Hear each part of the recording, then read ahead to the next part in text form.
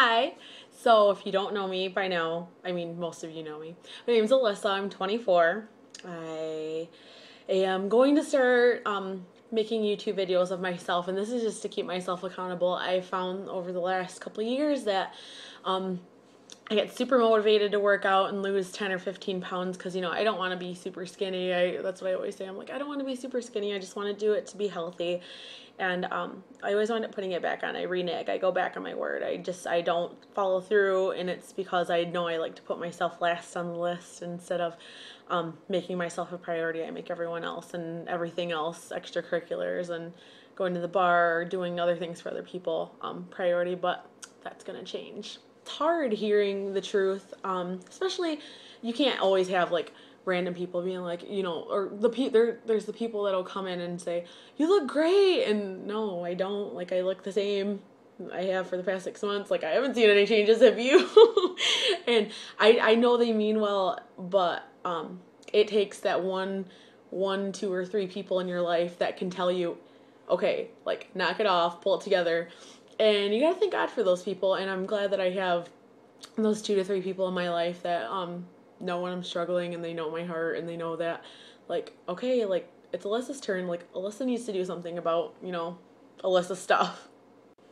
So I just want to keep um tabs on myself and I mean I think it's kind of cool like to let people like follow along like and see what I'm doing like I want to do I want I mean I don't know I just want to hold myself accountable like I'm tired of um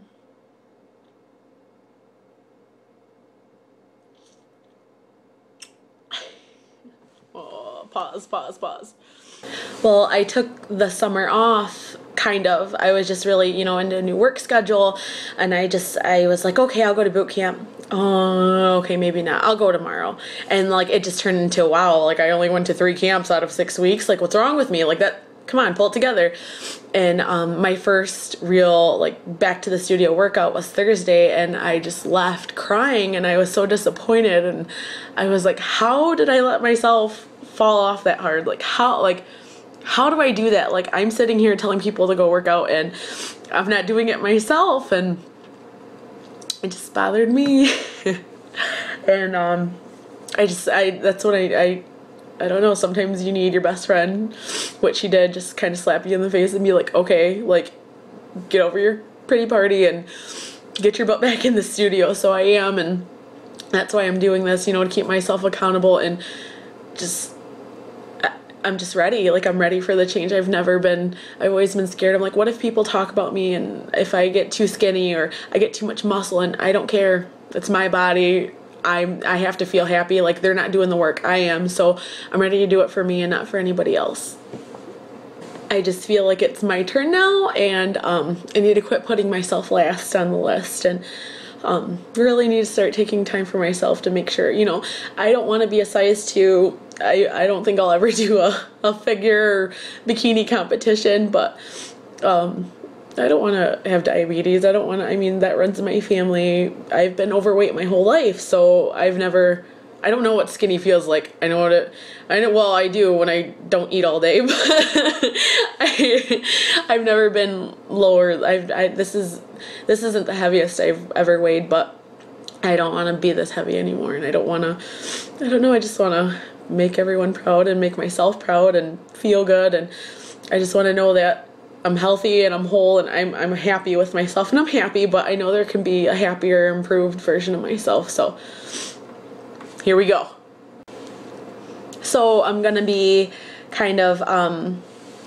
just I mean I work out work for one place. So um, I'm just gonna keep track. I, I got all my food prepped. I'm super excited about it for this week um, I'm ready to do this. I'm ready to, you know, workouts. I did back-to-back workouts today. I did a spin class at my job, which is Fechter Fitness, and I did a 2020 class, which is uh, free weights, and that was uh, an hour or two. So I'm pretty sore. I'm gonna probably walk funny tomorrow.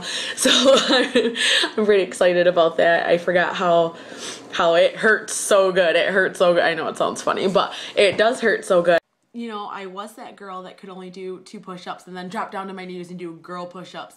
And, you know, then I advanced from that and now I'm back at square one. I can't, I'm like, holy crap, like, I let myself go that far. I can't even do like 10 push-ups. Like, eh, someone call 911 because that ain't cute. That ain't cute.